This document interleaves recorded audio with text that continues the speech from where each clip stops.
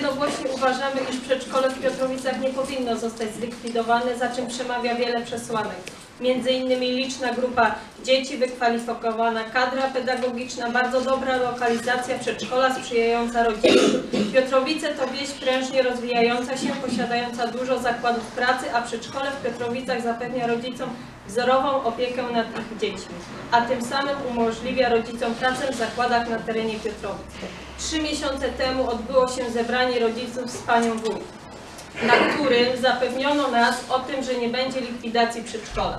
Pani wójt, bijąc się w pierś, mówiła, że problem z kotłownią został przez nią zaniechany i obiecała rozwiązanie tego problemu, stawiając remont kotłowni za priorytet.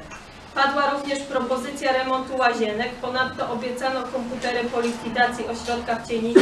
Rodzice napisali stosowne pismo w tydzień sprawie tychże komputerów, ale nie otrzymali żadnej odpowiedzi do dnia dzisiejszego.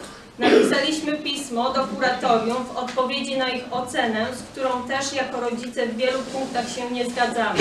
Mamy odczucie, że ocena przedstawia tylko negatywne aspekty tego przedszkola, nie